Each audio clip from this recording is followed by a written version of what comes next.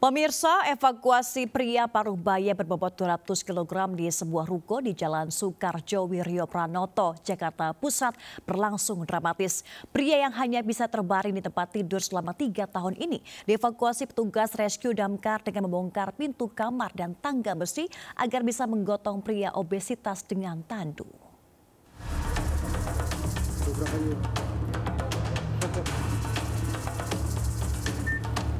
Sumarlan, pria 55 tahun ini hanya bisa berbaring di sebuah kamar di lantai dua ruko yang dijadikan tempat usaha konveksi di Jalan Soekarjo, Wiryo Pranoto, Gambir, Jakarta Pusat, Kamis siang.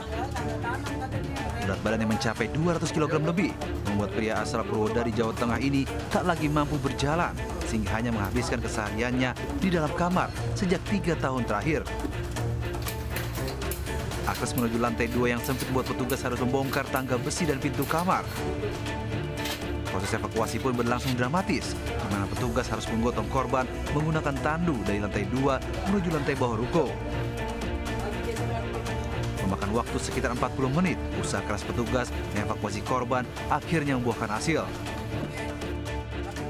Bobot kurang lebih 200 kilo, evakuasi yang memang cukup sulit karena memang akses dari lantai dua itu emang agak sulit.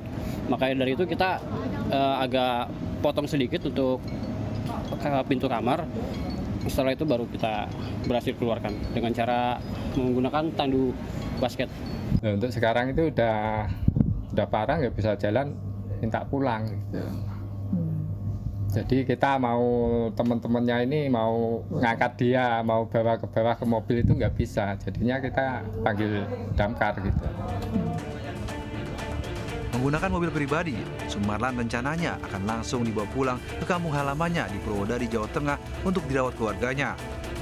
Dari Jakarta, Radi Sanjaya, iNews melaporkan.